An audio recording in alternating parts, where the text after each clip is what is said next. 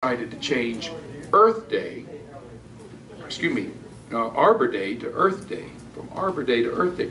We'd always celebrated Arbor Day. That was the thing to do for years and years and years. Go out and plant a tree, Arbor Day. But in 1969, 1970, there was this new movement called the environment and ecology.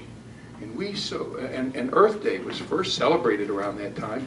And so um, the student government at Patrick Henry organized the first Earth Day celebration in Roanoke in the spring of 1970.